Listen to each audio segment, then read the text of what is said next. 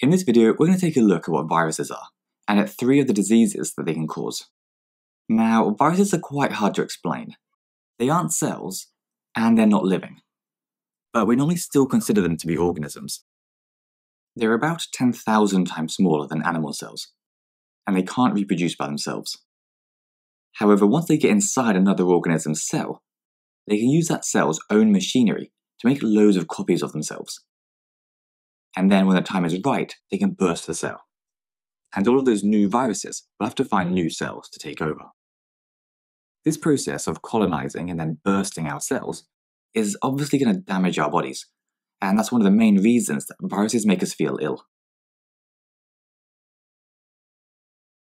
The three examples of viral disease that we're going to look at are measles, HIV, and tobacco mosaic virus. The measles virus is spread by droplets when an infected person coughs or sneezes. It generally causes people to develop a red rash across most of their body, and a fever, which is where you get a really high temperature and generally feel unwell. Although it can be really serious, and sometimes even fatal, it's luckily really rare in the UK, as nearly everyone is vaccinated against it when they're young. HIV, on the other hand, can be spread by sexual contact, such as unprotected sex, or by exchanging bodily fluids, such as the blood, for example, when people share needles. HIV stands for Human Immunodeficiency Virus, which tells us it affects humans and it causes a deficient or inadequate immune system.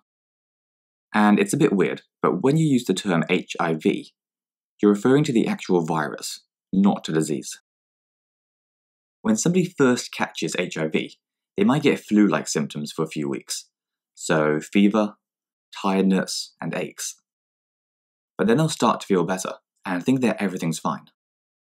However, inside their body, the viruses are doing more and more damage to their immune system. And at some point, their immune system becomes so weak that they start to catch unusual infections and sometimes even get cancers. At this point, we say that the person has developed AIDS, which is classed as a disease or syndrome in which the person's immune system can't cope anymore. This used to be the end of the story, as people would die of random infections or cancer.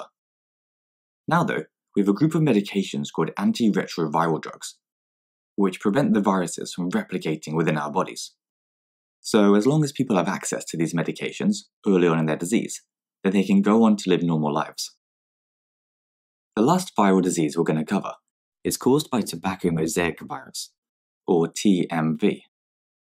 This virus affects plants instead, but only certain species, such as tobacco and tomato plants. The reason it's called mosaic is because it discolors patches on the leaves, causing a mosaic pattern to form. The problem is that photosynthesis can't take place in these discolored patches, and so overall, the plant won't be able to produce enough sugars for proper growth.